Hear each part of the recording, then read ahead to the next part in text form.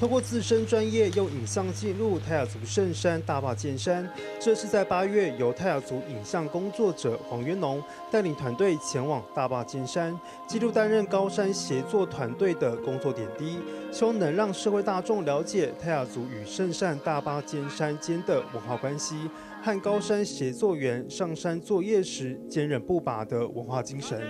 让世界上的人知道，就是泰雅族。哎，大巴尖山为什么会变成泰雅族人的圣山？以前是，那现在，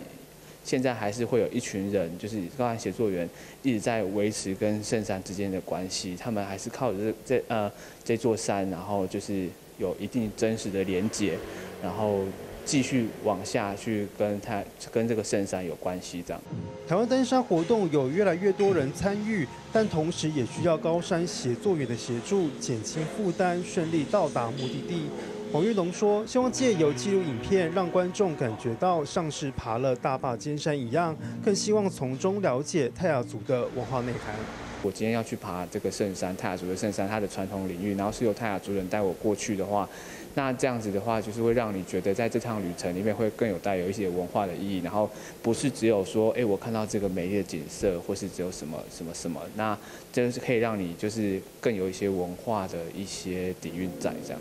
太阳山青影像记录计划即日起到二十七号，展期将会举办讲座，邀请高山协作员和研究原住民族古道的专家学者来分享与交流，让民众更了解原住民族的山脉和背后。的历史故事，原是新闻比例已故台北市采访报道。